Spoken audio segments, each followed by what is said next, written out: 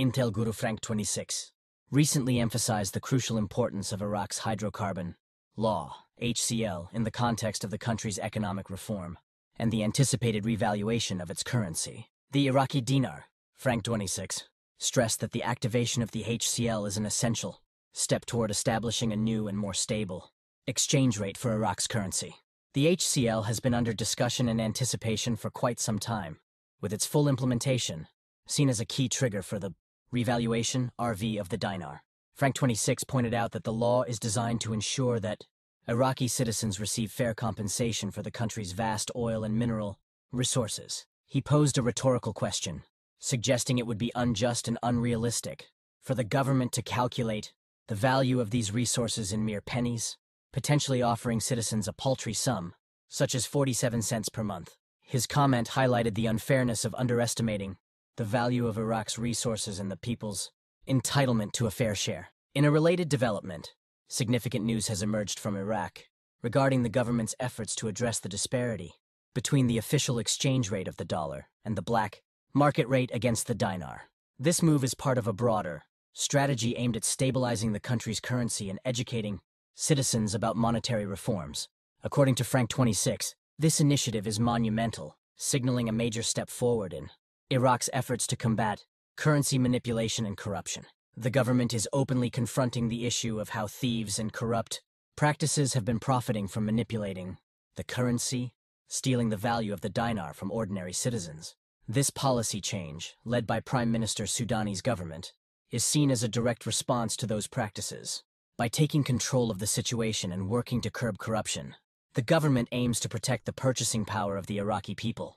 Intel guru Mars also expressed cautious optimism, acknowledging that significant developments in Iraq's financial system could unfold soon. Rumors about potential events and announcements have been circulating, with many speculating that key changes may take place in the very near future. However, Mars urged people to remain calm and wait for official confirmations, cautioning against getting too excited prematurely. He emphasized that while the rumors are promising, the outcome remains uncertain. Nevertheless, he expressed hope that these developments could mark the long-awaited turning point for Iraq's economy and encouraged everyone to remain hopeful and prayerful that the long-anticipated changes were indeed about to come to fruition.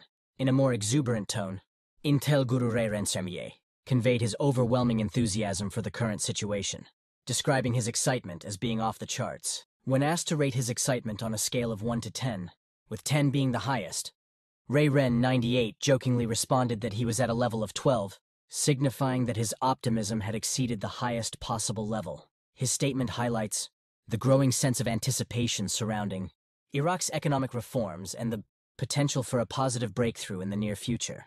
Another major development has been the completion of Iraq's general census, which is being hailed as a significant milestone after 37 years. This census is viewed as an essential step in better understanding Iraq's population demographics, and economic needs. The successful completion of the census was celebrated by the United Nations, which congratulated Iraq for reaching this important achievement.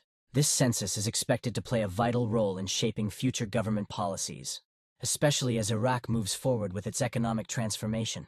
In addition to these developments, Intel Guru Militiaman reported that the Central Bank of Iraq, CBI, is in the process of relocating its valuable assets to a new building. While the exact nature of these assets remains unclear, Militiaman believes the timing of this move is highly significant. The fact that the CBI's new building is now operational has raised expectations that Iraq is preparing for a major announcement, possibly related to the country's monetary reform. Militiaman views this as a positive sign that the central bank is ready to take the next steps in Iraq's financial and economic transformation. On a broader scale, Intel Guru MNT Goat has been observing substantial preparations for a significant financial transformation in Iraq, which is expected to take place by the end of the year. MNT Goat has expressed confidence that while challenges may arise during this transition, Iraq is receiving increasing support from the international community, which is backing the Iraqi dinar. This external support is seen as a critical factor in ensuring that any initial difficulties will be short-lived and that the situation will stabilize rapidly once the reforms are fully implemented.